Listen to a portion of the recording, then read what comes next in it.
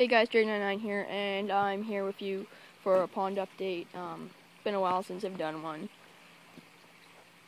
So, basically it's winter here where I live, so tropical plants are going to have to come in soon. Um, everything's doing well.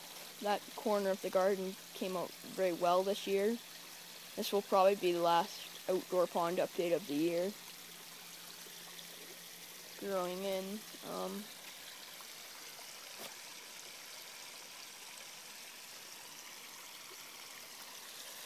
don't have much to say.